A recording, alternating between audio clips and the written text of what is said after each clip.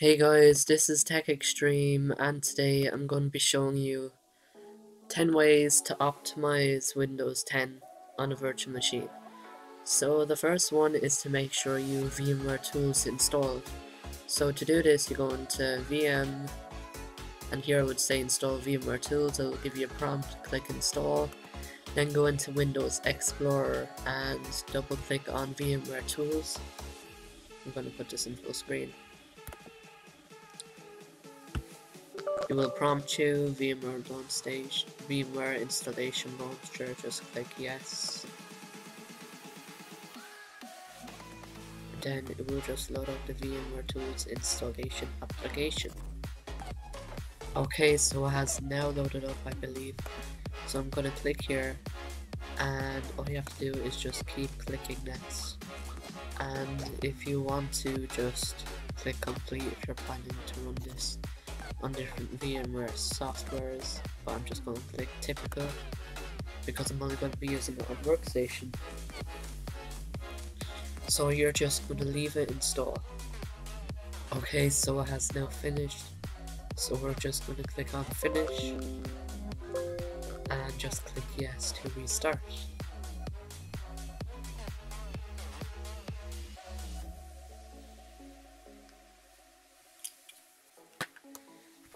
Okay, so after it has restarted, the next thing you're going to want to do is basically change your power settings to high performance.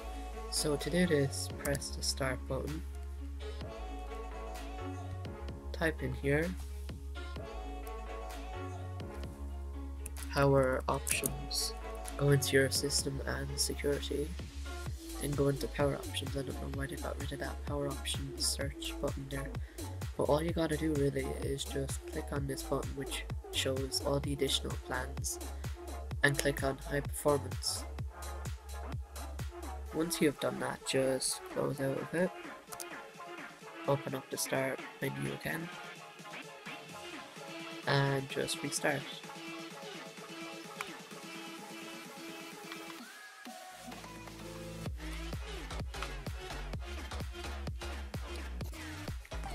Okay, so now that it's loaded up, the next thing you're going to want to do is defragment your hard drive.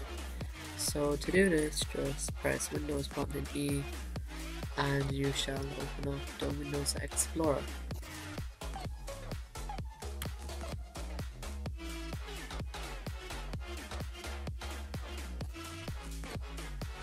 And basically all you gotta do is click on this PC, right click, on local disk and click properties.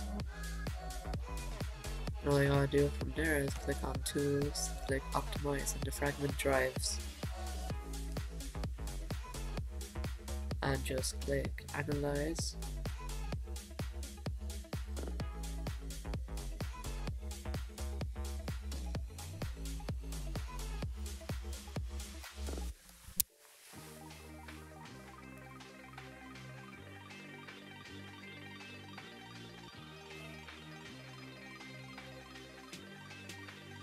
And as you can see, even from just installing Windows 10, there's still 12% fragmentation. So next thing you're going to want to do is click on Optimize and just let it do its thing.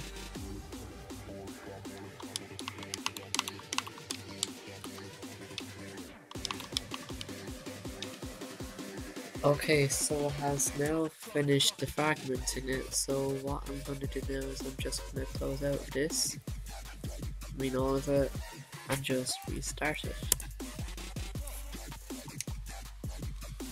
Okay, so now that is finished loading up, the next thing we're going to want to do is disable startup programs and you'd be surprised how many come with a freshly installed Windows 10. So just right click and click on Task Manager and it should load up there for us now. I'm gonna try do that again. Task Manager and there we are is loaded up so just click on more details. Go into startup. And as you can see all these um, things that make the startup process very very very slow. And it slows down your computer too.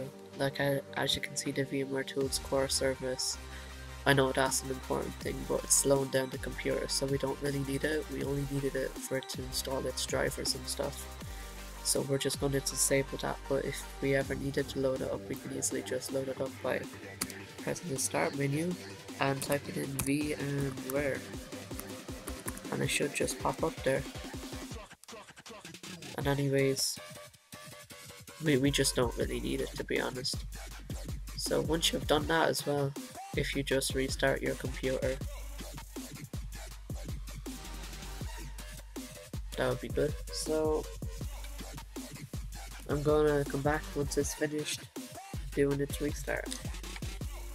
Okay, so it's now finished up loading up from the restart. So what we're gonna do next is we're going to change basically the graphical animation because that slows down the computer as well, believe it or not. So just type in control panel from the start menu. No, we don't want trick. Don't know how it got that. Maybe it's trying to speak in Polish or something like that. If it doesn't mean control point in Polish, sorry. Polish people. So um, just click in system and security, click on system, and from there click advanced system settings. From here just click underneath performance to click on settings and just click adjust for best performance, click apply. Click OK, click OK, and there we are. That's how you speed up Windows 10 on a virtual machine.